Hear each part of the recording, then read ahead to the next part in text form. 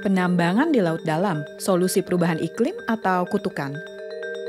Ini adalah proses pengambilan mineral di laut dengan kedalaman lebih dari 200 meter. Batu-batu yang diambil mengandung logam berharga seperti nikel, tembaga, dan kobalt yang diperlukan untuk membuat baterai, mobil listrik, dan sistem fotovoltaik, menjadikannya sebagai logam-logam yang sangat dicari saat ini. Sebagian menilai penambangan laut dalam dapat membantu kita beralih dari bahan bakar fosil dan melawan perubahan iklim. Namun sejauh ini, dampaknya terhadap lingkungan masih belum jelas. Prosesnya dinilai bisa menghancurkan ekosistem laut dalam.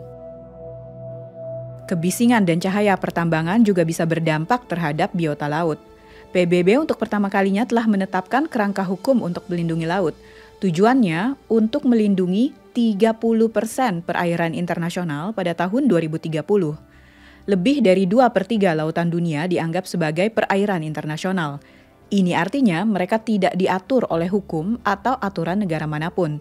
Perjanjian PBB memungkinkan terciptanya kawasan perlindungan laut yang ditentukan lewat pemungutan suara.